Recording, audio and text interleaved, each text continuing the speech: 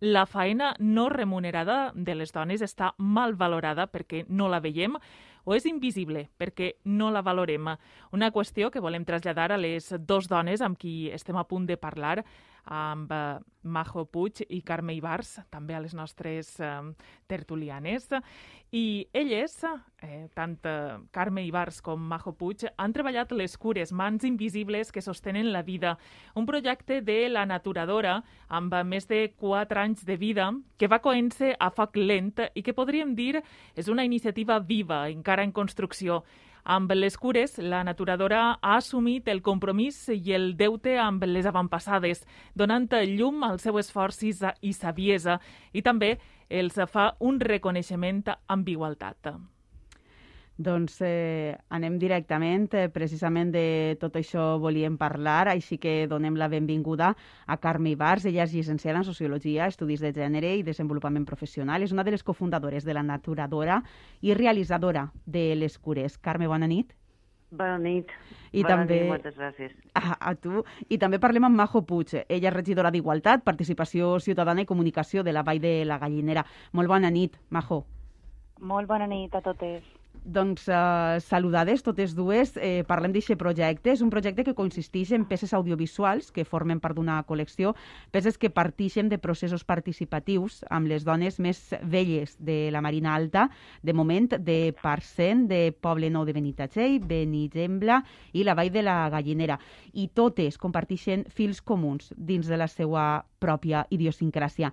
S'hi poden escoltar testimonis tan sincers com estos que ens situen en el món de les cures, eixes mans invisibles que han sostingut i que sostenen la vida, com diu el subtítol. Jo crec que les dones sempre han tingut menys llibertat que els homes, perquè una, una dona no pot fer el que fa un home. Anar-se'n als casinos, jugar a cartes i tot això. Les dones estem a casa, criem els fills. Les dones feien la feina a la casa, anàvem al camp a plegar olives, meles, es muntava, tota la feina, es tallava el raïm, tota la feina, això era de la dona. La feina de la casa la feia tota la dona. Tot nostre.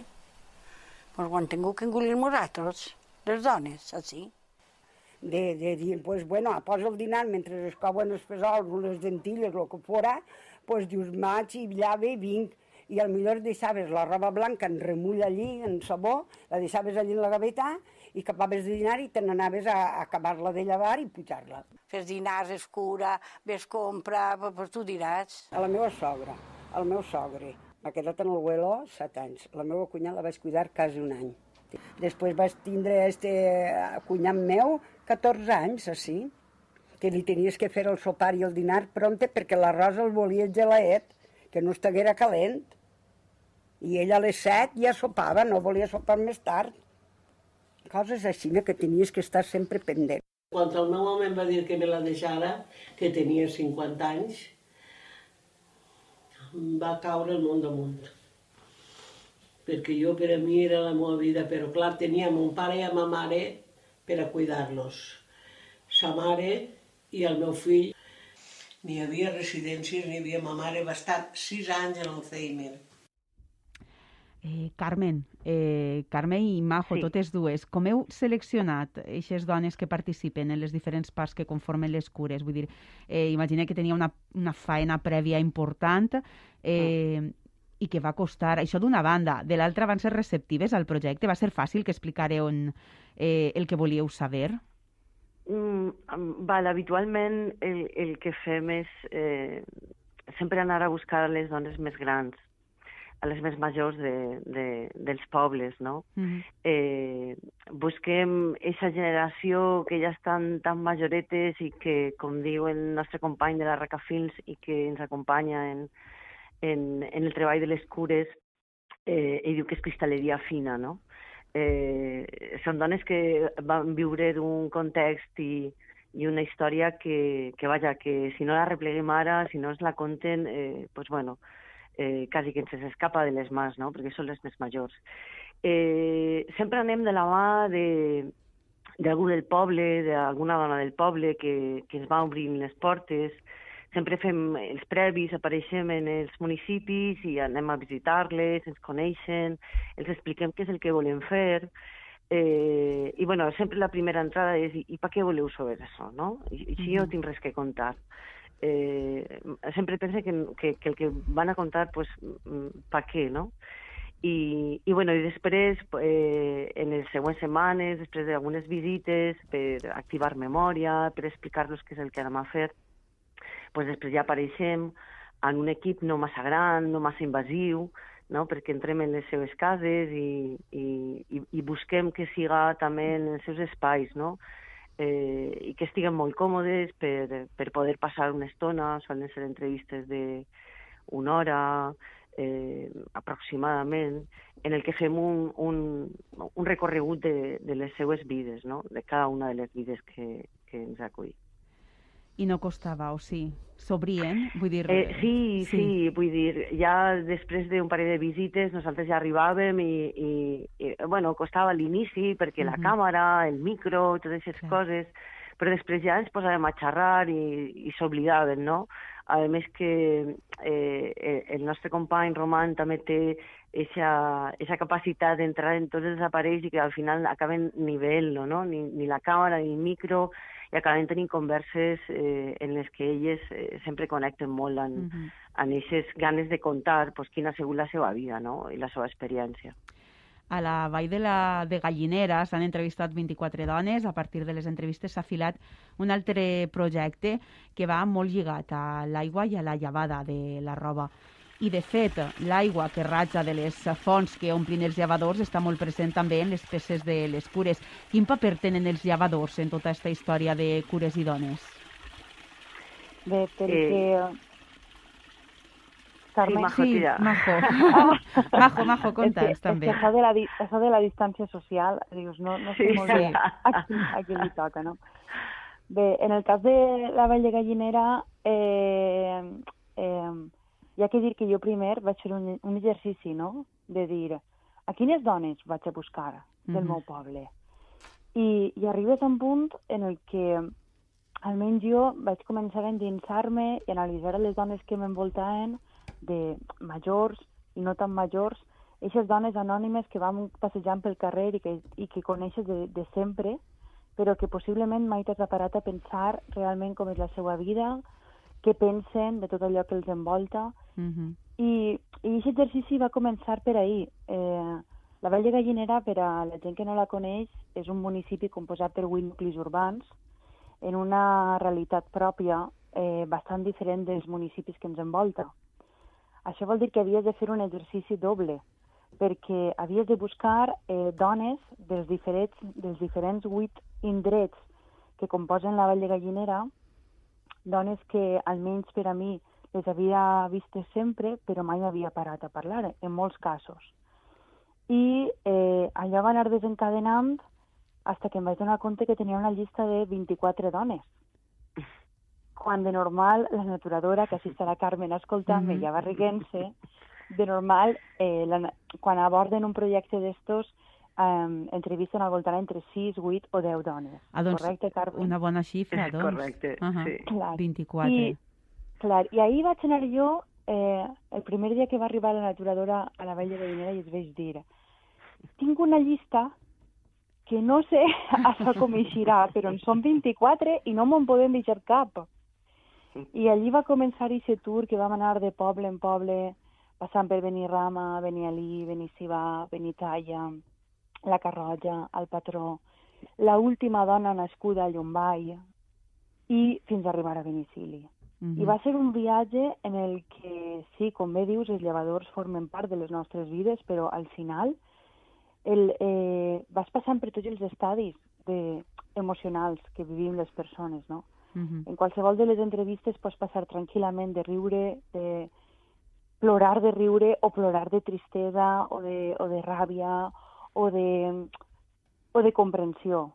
I al final, el fil conductor, encara que hem passat per dones que tenen eh, la més major al voltant de 90 i pico anys llargs, que se'n recordava com si fos ara quan anava a escola, i, i comença a contar-te aquest relat i fins a arribar a la, a la més jove entrevistada, no?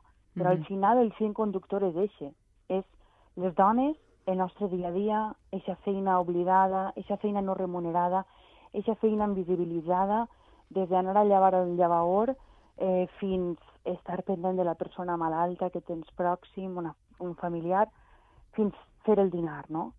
Mm -hmm. I, I sempre hi havia un mateix fil conductor, que era, eh, jo no sé res, sí. jo no tinc res que contar. I dius, vale, va, senta't un poquet i xerrem. Però per què? Senta't, que ara veuràs, i vas estirant, i estirant, i estirant, i arriba un punt que dius, és que ja me'n tinc que anar, xica, no veren, eh? I entonces ja arribem a un punt que dius, bo. I al final fas complicitat, no, Carmen? No sé tu com... Sí. Sí, sí, sí. Vull además es que eh, la Vall de Gallinera, com ha dit Majo, té una idiosincràsia pròpia i, i així ha sigut, saps? Les obtenen 24 i per a nosaltres també era com una dimensió del projecte que era guau. I, i, i un, un autèntic viatge, a més en què durant una setmana i quasi mitja eh, vam estar eh, bueno, pues, eh, acollides d'una manera tan, tan, tan xula perquè al final és això, connecten molt en, en, en el que estan contant, eh, els agrada molt, a més que es, finalment que es pregunten sobre les, la seva vida, Després és cert que tenen certa poreta també perquè han contat coses de, de, de la seva vida pròpia, però el projecte de les cures eh, el que fem nosaltres és recollir tots els, els testimonis i després cosim les peces audiovisuals per a contar una història col·lectiva en la que no sols les dones que participen es veuen reflectides i l'objectiu és que es senten reconegudes per tot l'esforç immens que han fet, sinó que, a més, falla d'espilla a l'actualitat, és a dir, que les que són més joves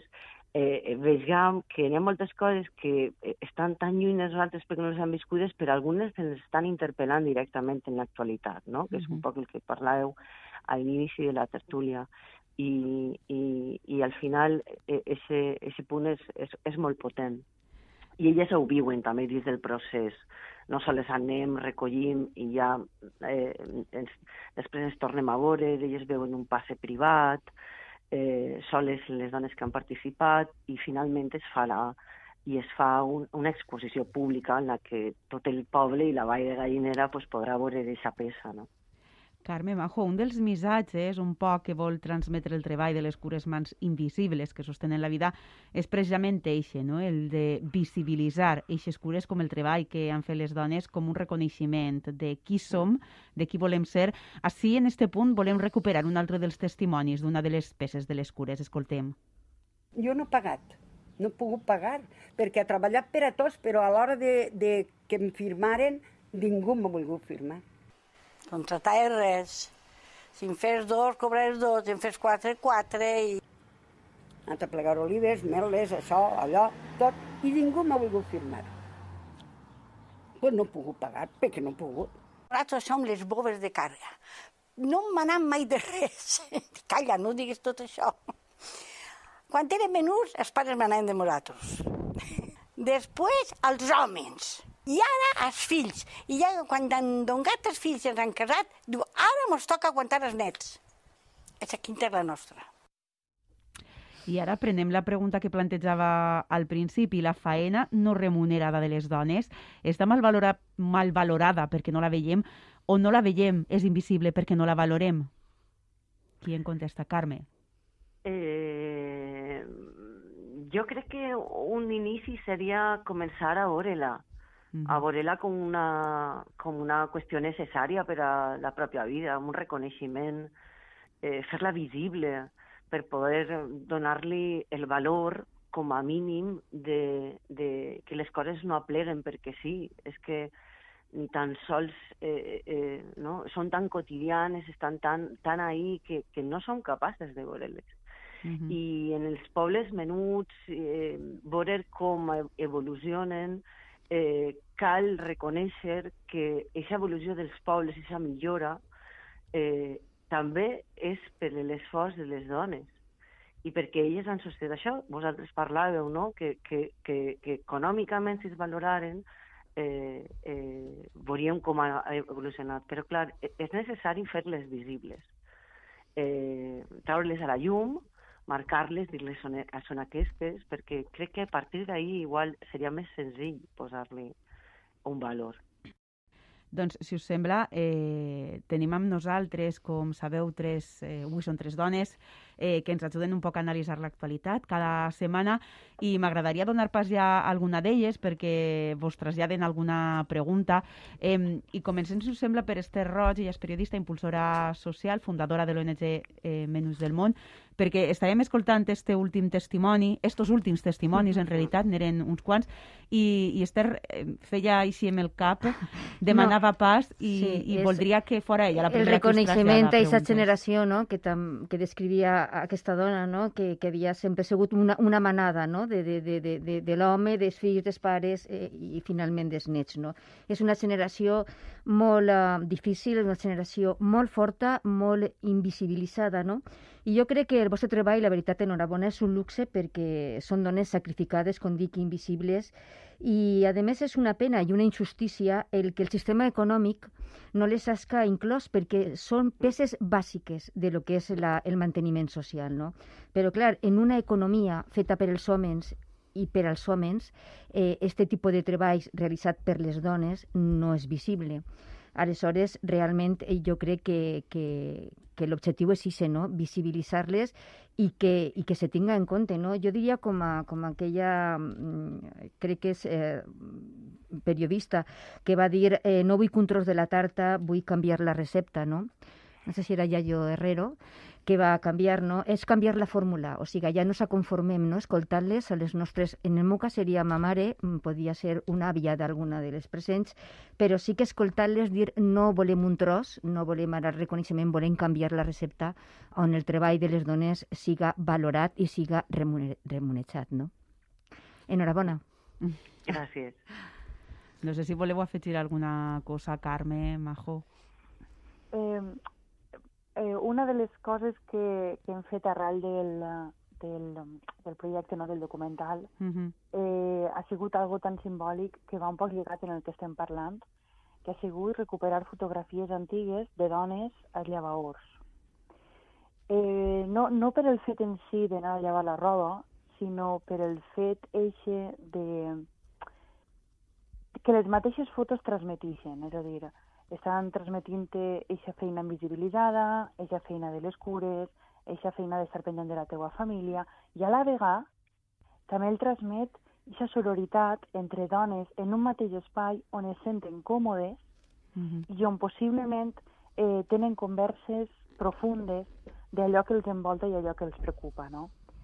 L'objectiu no era treure la foto en qüestió, l'objectiu era que totes aquelles persones que passen per qualsevol dels llevadors de la Vall de Gallinera i aprofiten per a veure, llevar o el que siga, veguen i se'n recorden d'eixa mare, d'eixa abuela, d'eixa tia, d'eixa germana, d'eixa dona, d'eixa veïna d'enfront que la veien eixir en una gaveta de roba al cap, en un xiquet al braç, d'eixes dones. Perquè l'objectiu no és que parlen sols de les nostres dones, sinó que, que aporten, que arriben a aquesta reminiscència i se'n recorden del seu xicotet cercle i diguen ostres, mm -hmm. ma mare feia això, com és possible que jo no em donarà compte? Perquè quan més en parlem d'aquestes coses, més normalitzarem de que no és normal en, en, en, aquests aspectes. És a dir, que aquestes feines, encara que en l'actualitat eh, no es va llevar os o no es fa certes coses, s'ha transformat en altres que ja les tenim per normal i que no ho són. Mm -hmm.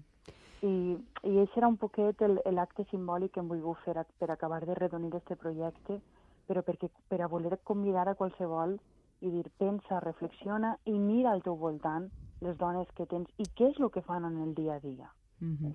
Doncs us, us pregunta també ara Majo Siscar, que és periodista, autora de tremendes luchadores latinoamericanes i està a l'estudi del costat. Majo. Bueno, jo, al tall, més que una pregunta, al tall del que deia Majo Puig, la meva tocalla, em sembla que els eh, llevadors també és una manera d'homenatjar el, els pocs espais públics que històricament ens han, perta, ens han pertangut a les dones, no? Mentre eh, als pobles conservem, o ara hi ha un intent per conservar els casinos, per exemple, o coses on era l'espai tradicionalment dels homes, jo crec que hi ha que reivindicar això com que era part de l'espai públic, igual que el mercat on les dones érem les protagonistes, no? Per desgràcia, per una, per una, no, no per a l'oci, no? però que evidentment hi havia, hi havia tota eh, una, una posició. A mi Bueno, jo, per exemple, de fet, en el llibre que tu cites eh, hi ha una de les històries que passa a un riu eh, on van a llevar, on hi ha pedres per a llevar al Salvador i, i la, la, la història d'aquestes dones eh, ara mateix a les afores de la capital de Sant Salvador és bastant semblant a, a la de les nostres iaies, no? I això eh, bueno, eh, em fa pensar també en, en, en, en que si bé la feina de les nostres iaies no, no ha estat invisibilitzada i a més elles mateixes es fan xicotetes i per això diuen no tenim res que explicar perquè és com ara ja som majors i el nostre cos no serveix per a, ni per a reproduir, ni per a cuidar, ni per a generar riquesa, no? I ara són, estes no, les nostres iaies són cuidades per altres dones que solen ser eh, d'origen llatinoamericà, en, en la majoria, molts dels casos sense papers, que si bé sí que cobren per la seva feina, no cobren el que cal perquè justament s'aprofiten o sigui, d'esta vulnerabilitat. No sé si vosaltres, i ara tornant a la pregunta, perdó, eh, eh, Majo, Carme, en el treball s'heu trobat dones eh, majors que estiguen contant-vos això i que tinguen una persona que les cuide, que siga de fora, i com veuen elles este intercanvi? És, és curiós perquè sí, sí que els, els, ho ens hem trobat, no? Una de les coses que ens preocupava en, en l'equip i, i abans ho anomenaven també era com, com, com, com fer que les peces de les cures eh, siga un reconeixement i a la vegada també interpel·le l'actualitat, no? I que diga, bueno, han canviat moltes coses però continuen passant de moltes altres i, i que siga de denúncia i també valoritzar aquestes qüestions que són les cures de que, que significa estar eh, eh, sostindre algú, no? Perquè eh, a banda té un valor humà això, no? I que no és no hauria de ser propietat sols de les dones.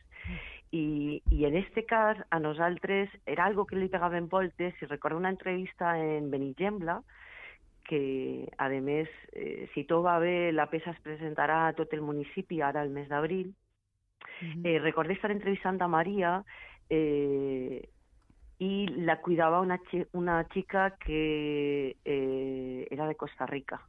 Uh -huh. Estava allà amb ella. I eh, Maria havia estat en Estats Units, havia emigrat i havia estat allà eh, bueno, treballant en fàbriques eh, eh, textils i després cuidant a xiquets allà. I era curiós perquè recorde quan vam acabar l'entrevista, eh, eh, la xica que la cuidava vam estar parlant i xerrant, entenia perfectament el valencià, portava ja un temps allà, i ella mateixa dia, que curiós, no?, perquè ja va estar a l'altre costat del xarco i ara estic jo aquí, que m'he deixat la meva família allà, i, i, i vivia amb ella, amb Maria, tot el temps.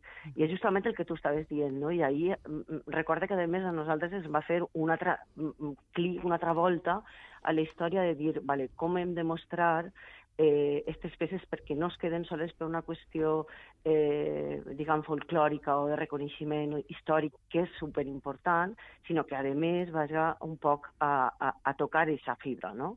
a la que encara ens està dient moltes coses en l'actualitat, no? i el seu propi exemple ho fa. Us pregunta ara Amparo Cervantes. Amparo.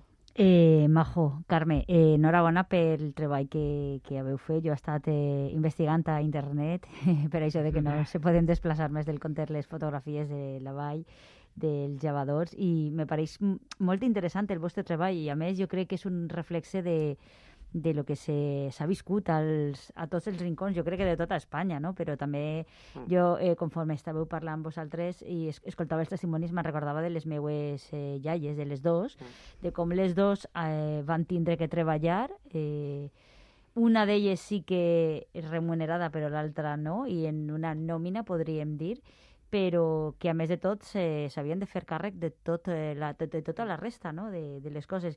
I jo, eh, en aquest sentit, volia, volia fer-vos dos preguntes. Eh, ha hagut alguna dona, perquè parlàveu al començament de que les dones eh, els costava arrencar, però quan arrencaven sí que tenien mm. coses que contar, no? I no paraven. Eh, però ha, ha hagut alguna que no hagi volgut participar, vull dir, que no hagi volgut contar la seva història? Això seria una pregunta. I l'altra seria, i aquestes dones en algun moment del seu discurs o de, o de, o de la història que vos contaven, eh, reconeixen i, i, i so, se senten orgulloses de les seues filles, netes o bisnetes de lo que, se, de lo que aconsegueixen i de la vida que duen o que duguem ara eh, confrontada amb la seua? Um, repliqui jo la primera pregunta. Molt bé. en, bueno, he de ser sincera, realment la llista no eren 24, eren 28. Ah. però, però quatre van per circumstàncies, unes perquè no podien, a última hora, en fi. Però va haver un cas d'una d'elles que, que són aquestes cosetes que te se queden de no haver pogut entrevistar, no? Mm. I és una dona de la Vall de Gallinera que jo anava indagant pels carrers i a qui li podria preguntar i a qui trobeu, no? I em van dir, doncs pues mira, ahir, en el carrer de baix, està fulanita que eh, ha viscut a l'Alger, a París i a Estats Units. Wow. I té 90 anys. I jo, com? I allò que me'n vaig cara a casa a tocar-li la dona. Quin havia sigut el seu ofici? Lligant-ho un poc en el que dia des eh, Majo Siscar.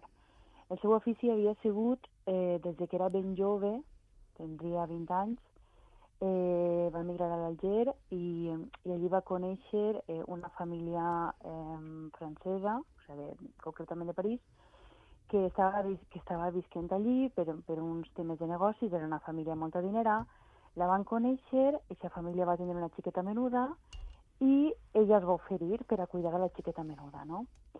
pues des d'aquest moment, tota la vida, fins que aquesta xiqueta va ser adolescent, adulta i fins que ja va arribar a una edat eh, bastant major eh, i ara una dona i va faltar, aquesta dona havia anat tota la vida, tota la vida en aquesta família.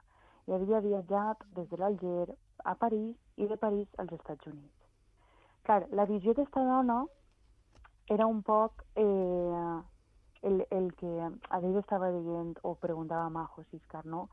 Eh, Ixes cures de persones que, que han d'emigrar i sempre van acompanyant a les cures, no? o les cures les acompanyen a elles. No? I la visió d'esta dona era un poc això de tota la vida jo entregar, tota la vida cuidant, no tenia horari, era tot el dia pendent d'aquesta família, és cert que eren altres temps, però va molt lligat a lo que vivim actualment, no? I aquesta dona, al final, després de fer una radiografia, que era una entrevista que, que, vamos, que pegava un tro, al final no, no va voler participar perquè eh, li provocava un poc de, de, de, no sé si la paraula seria dolor o què seria, però era un poc de jo tota la vida entregar i què és de mi? Ara, en aquests moments. Em referís jo al, al tema de les cures, no? I això Mm. va lligat al, a les dones últimes que han eixit de jo, mm, és que ningú em volia firmar. Jo anava a treballar així, jo anava a treballar allà i ningú em volia firmar. I i ara què és de mi? Després de servir a tot el món, no?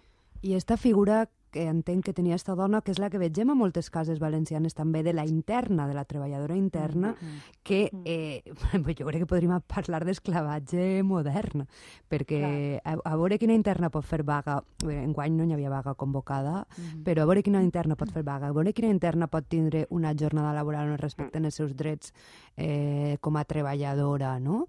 I això es- ara es fa condicionat a com no tens papers i jo te'ls faré eh, en eixe pro, en eixa promesa i s'anula les persones, no? O sigui, s'anula la- lo que tu, el cas que tu estàs dient d'una una dona que ha estat totalment al servei i la seva vida ha passat eh, la vida de la família la, per a la que treballava ha passat, ha passat per damunt de la seva. És, me- és, mo- és curiós perquè, a més, eh, la, la majoria de les dones d'aquesta generació parlen i gasten l'expressió de estar en amo. Elles estaven en amo. Dir, és que ja soles l'expressió és justament el que estaves dient, no? I que parlaven justament avui, esclavitud. Vull dir, algunes d'elles des de ben xiconet, xicotetes, no? Perquè si no les podien alimentar en casa, pues les posaven en casa d'un amo i eh, pues, res, ahí no hi havia papers, no hi havia absolutament res, no? que és justament el que esteu dient. Eh, En, en això que esteu dient, eh, a mi me, me ve al cap un cas que vaig conèixer i que me va impactar molt, eh, no és a Espanya, però, però encara que tot eh, eh, hem de donar, no sé si gràcies o, o de conèixer casos a, a tot el, per tot el món. Va ser a Bolívia, concretament, i el cas era una, una xiqueta que, que s'havia quedat al carrer, una família l'havia replegada i la tenien, era la, la xiqueta tenia l'edat més o menys dels seus fills, d'una de les tres filles que tenia, i la xiqueta la tenien de criada des dels, crec que eren Mm. 11 o 12 anys. Eixa xiqueta continuava de criada a la casa, eh, ben major, no li pagaven ningú sou ni res, la tenien eh, realment, i jo que vaig tindre l'ocasió de conèixer-la, a mi se me partia l'alma, vull dir, de veure com la tractaven, de veure com... Bueno, això, de veure com la tenien. Eixa xiqueta no tenia ningú futur, no sé què passaria el dia que eixa família eh, decidirà que s'havia acabat. Doncs eh, són ja les 9 i 45 minuts. Moltíssimes gràcies. Majo Puig, regidora d'Igualtat de Turisme, Patrimoni i Comerç i Participació Ciutadana i Comunicació de la Vall de Gallinera. També Carme Ibars, de, cofundadora de la Naturadora, que, que és que ha començat este projecte de les cures. Com dia, moltes gràcies per haver-nos regalat estos minuts de conversa en la ràdio pública, la ràdio d'Apunt. Bona nit. Moltes gràcies a vosaltres. Moltes gràcies. Molta sort en el projecte. Gràcies. Bona nit. Gràcies. Bona nit. Que bonic, eh? Pues sí, necessari, eh? Jo crec que és, aquest tipus d'estudis són necessaris. Jo crec que tenim que escoltar molt a les persones majors, no? Perquè tenen molt a contar. Mhm. I especialment aquesta generació, per a mi ha sigut una generació molt castigada. Les dones han sigut molt sacrificades. I el perill és que eh, estiguen contentes, no? Jo quan escolto aquest discurs no, d'aquestes dones dient perquè jo he fet, he fet, he fet, però després no ha tingut un reconeixement, no? I el mateix també t'està dient que no té un sou, que no ha pogut cobrar, que tal. A mi me, provoca molta injustícia. Mhm. Eh, molta tendresa, molt de mm, quina vida no, han portat. És important visibilitzar-les, és important que parlen, que conten, però és important denunciar. Eh? Jo crec que, Mm. que estem, a, esta generació estem per a dir, bueno, això no, no té que tornar a passar. No? I per lo que comentava a, Amparo respecte al tema este de Bolívia, no? jo recordo en este país, però ja són eh, concrets, casos concrets de, de homes, que en este cas són com tipus hacendados, no? Que especialment a les dones indígenes les tenien eixe dret de pernada, però fa, no fa ni 20 anys, eh? Vull dir-te que, eh, igual que hem parlat de la, de l'oblació, no?, en aquest escàndol, no?, de l'oblació i de la mutilació genital, no?, bueno, pues, eh, de, de, de, és que n'hi ha tantes maneres de, de, de dominar a la dona i realment jo crec que que la violència de gènere l'home mata la dona perquè no pot dominar-la. No n'hi no ha una altra, una altra explicació. L'home la mata realment, l'assassina, quan ja no la pot dominar, quan se li va. Doncs eh, en este 8 de març eh, visibilitzar, eh, posar en valor el treball de les cures era un dels eh, objectius de la campanya eh, oficial, diguem-ne.